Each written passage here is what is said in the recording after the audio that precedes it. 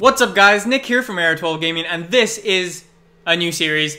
Uh, this is Will It Drift? Uh, the, the idea of the series is taking cars that you wouldn't normally uh, think would go sideways, and I put them sideways, or at least try to, uh, and we'll see what happens. So as this is the first episode of this series, uh, it'd be really awesome if you could thumbs up uh, as you do, and um, yeah. So, the first car of, of Will It Drift is the Ford, is the Ford Raptor. The huge SVT, uh, it's, a, it's basically uh, an F-150 with a ma Do the stock ones have V8? I'm not sure. But this has a V8, uh, a huge V8, 6.2 liters, I believe. Uh, it's an absolute animal. Uh, basically, I, I'm pretty sure it was designed for racing or something like that. And anyways, it's a beast car, and I thought why can't it go sideways? Uh, I'm gonna try and put it sideways, make it go sideways. So, the first thing is getting this crap off, uh, make it rear wheel drive, make it, oh, so good. Um, so, before I go to that, uh, yeah, you'll notice the 6.2 liter engine, uh, it's a V8. I can go up to this one, which is also a V8, but it's a 5.4 liter. Now, I don't know why they have the 5.4 liter as red I, I just assume it's lighter. I think it's like 50 pounds lighter. Yeah, it's something like 50 pounds lighter. Uh, but I'm not going to choose that one because I like uh, the torque that comes out of the first one, or of the stock engine. So I'm going to keep that. Uh, I'm going to throw the twin turbos on because who doesn't love a good twin turbo? Uh, as for body kits, this car does have some pretty cool body kits. Uh, some fancy lights and stuff, which makes it look ready for the jungle probably. Uh, that looks ridiculous. I, I, believe that's actually meant for drifting. Um, nah. I think we'll just go with that. Open top. Looks pretty cool. It also saves us six pounds, four pounds, something like that. All right, so for tires, uh, you might notice the ridiculously small rims, mags, whatever you want to call them. Uh, let's get on the street tires. Front width and rear width. Let's go for that. And we need to get those rims off so we can at least put some bigger ones on because those things were absolutely tiny. All right, so let's see these. I want something a bit meatier. Meatier, if that's a word. Don't even know. Let's just go for those. Those look fairly simple. it's actually sitting on 17-inch rims.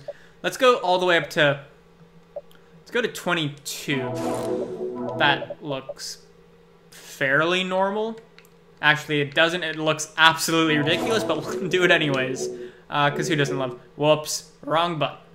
Um, who doesn't love massive wheels? Alright. Head back into the upgrade shop after you've exited, obviously. Uh, throw all the transmission and what have you on as with the handling and performance... Or is it performance and handling? Yeah. Throw all that on roll cage and weight reduction. How much is this going to remove? Like a thousand pounds, probably. I don't know. We'll see. A thousand four hundred pounds. Oh my god. Oh well, that actually fits fixes our uh, our weight distribution as well, which is rather nice. All right, so into the meat of this, which is the engine. Uh, we'll throw on the race flywheel, get our extra whatever weight we get off that. Uh, we'll throw that on as well. Since this is such a big, heavy car, I'm going to want in the range of 600 630 to 670 horsepower, I'm going to say. So that's going to be my goal.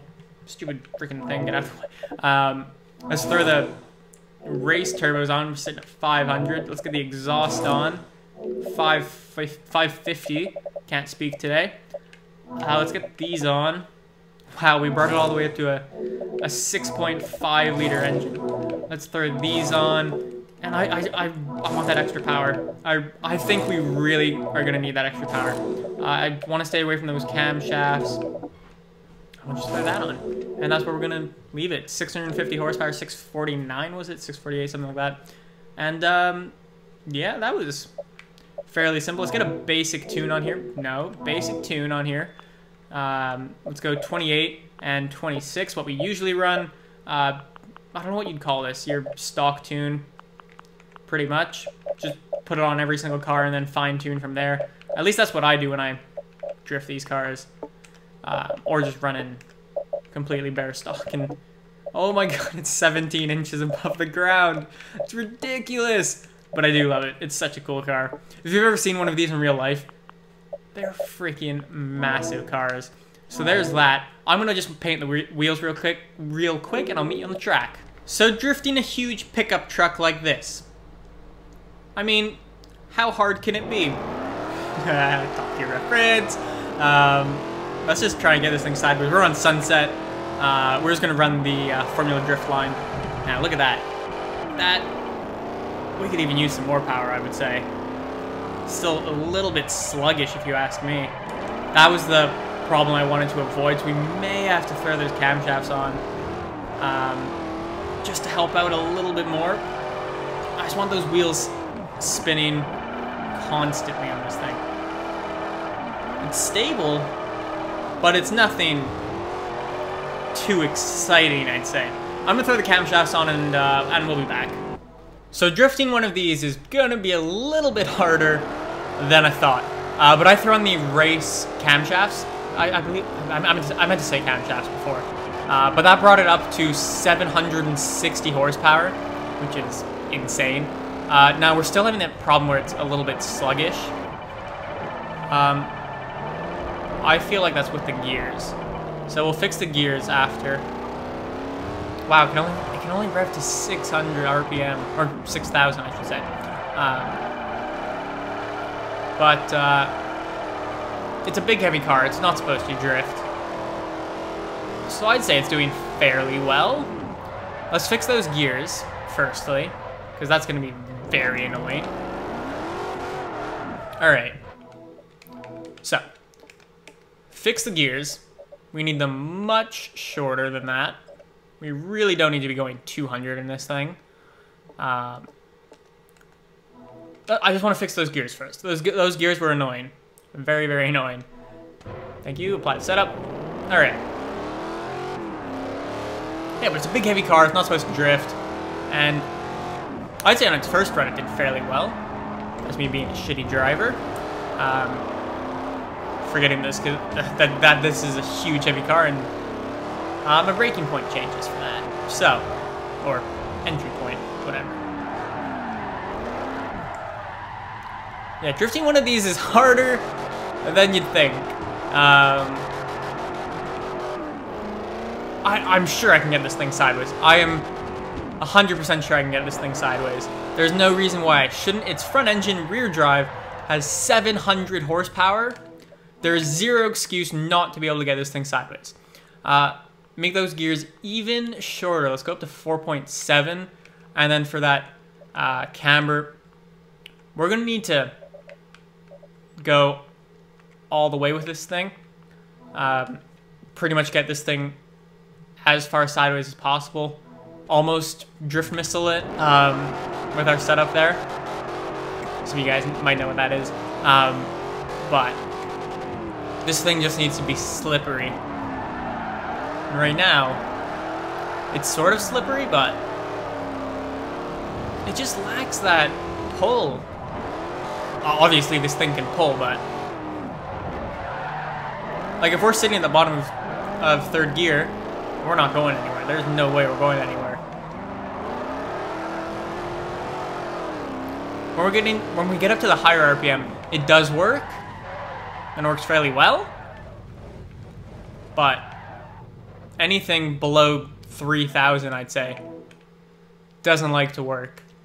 Um, so, hmm. I don't really know what the problem is. Let's go, let's go five. All the way up at five. That's crazy. Um, so, give it another shot. Th this thing should be able to go sideways.